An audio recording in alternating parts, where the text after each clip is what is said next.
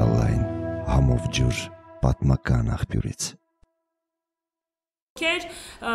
միայն ցանկանում են հանրությանը մանիպուլյացնել երկիրը քանդելու նպատակով։ Դրա համար իհարկե առաջանում են, երբ որ մենք մտածում ենք այս այս եղանակով, մենք հասկանում ենք, որ պարզապես այդ ղեկավար մարդիկ ծրագիր չունեն կառուցելու։ Այդ ղեկավար մարդիկ պարզապես ցանկություն ունեն քանդելու եւ դրա համար օգտագործում են այն մարդկանց էներգիան, ովքեր որ ի վիճակի են միմիայն քանդել եւ օգտագործում են կեղտոտ PR տեխնոլոգիաներ պարզապես հարությանը մոլորեցնելու համար, այլ ոչ թե հարության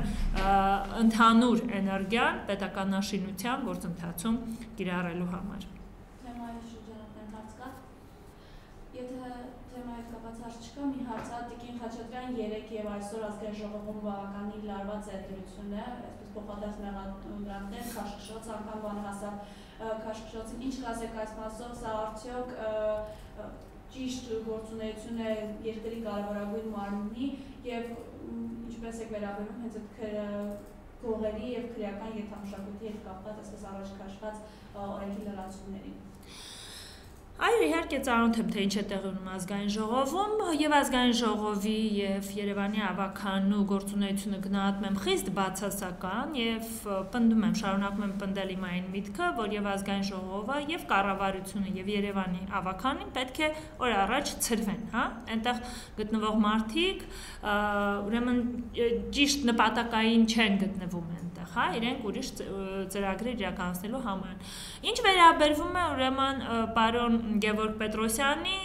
եւ Արման Բաբաջանյանի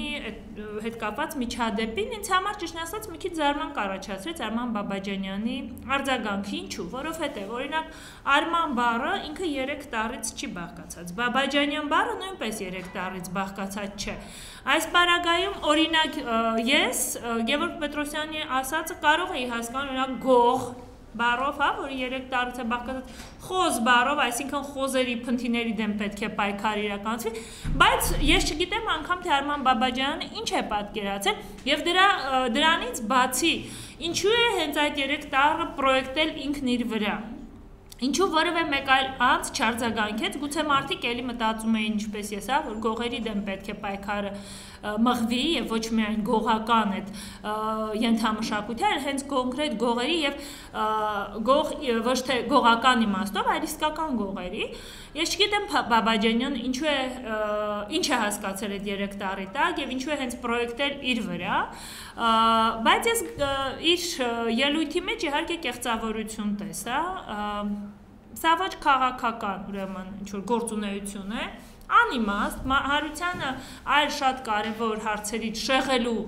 շեղելուն ուղված գործունեություն է եւ եթե չեմ սխալվում Արադ Միրզոյանը 4 ԲՀԿ-ական падգամավորին այդ օրը արգելեց որբիսի մտնեն դահլիճ եւ մասնակցեն նիստերի այդ դեպքում ինձ մոտ հարց է առաջանում թե ինչու Արադ Միրզոյանը ազնիվ եւ արդար չէր որովհետեւ երբեւե որևէ կռիվ կամ վիճաբանություն չի լինում միակողմանի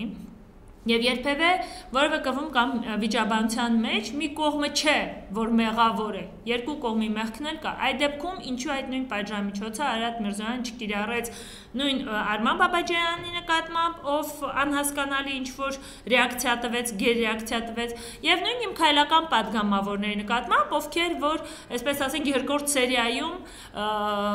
սկսեցին էլի ակտիվ գնացին գրոհեցին, չգիտեմ ում հետ կռիվ էին անում։